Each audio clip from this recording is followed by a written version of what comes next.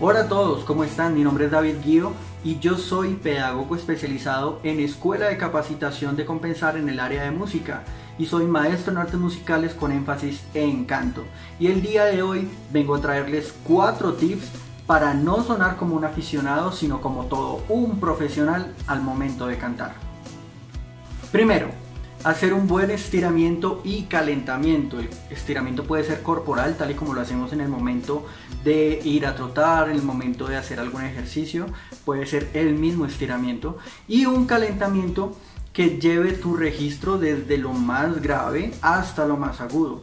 Podemos utilizar burbujitas. Burbujitas son cuando hacemos, por ejemplo,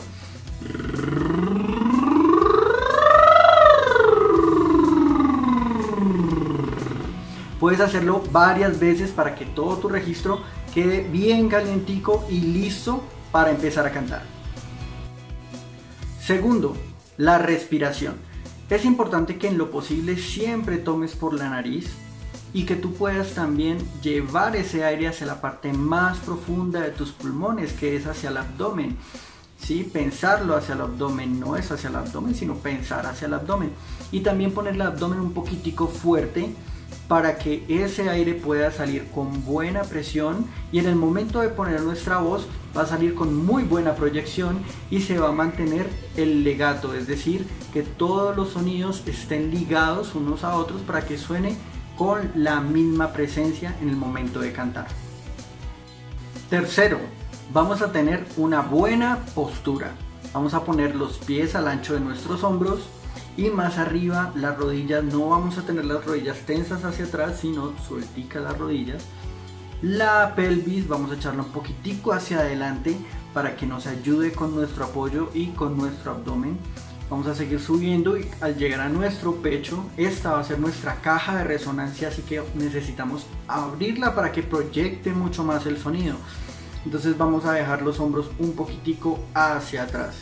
Por último la cabeza vamos a pensar en la coronilla hacia arriba, no vamos a pensar jamás en la barbilla hacia arriba porque eso nos puede traer una tensión en el cuello y lo que vamos a hacer es algo completamente contradictorio.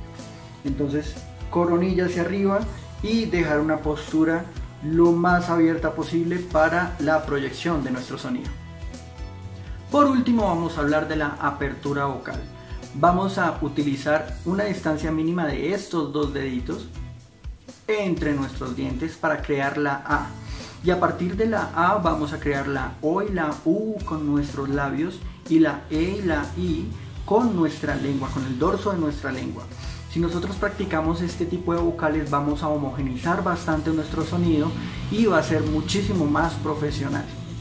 Y bien, espero que les haya gustado estos tips para cantar.